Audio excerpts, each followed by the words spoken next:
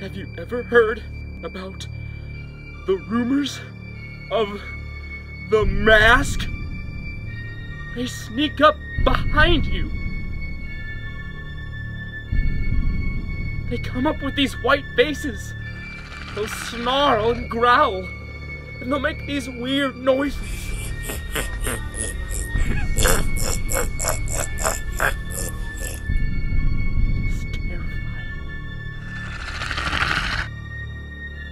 People have heard that it is one dangerous species that has haunted this place ever since.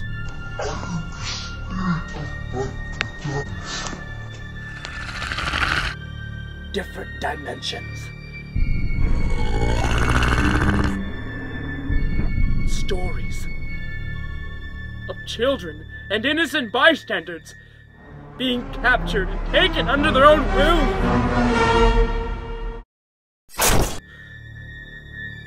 It is one heck of a story.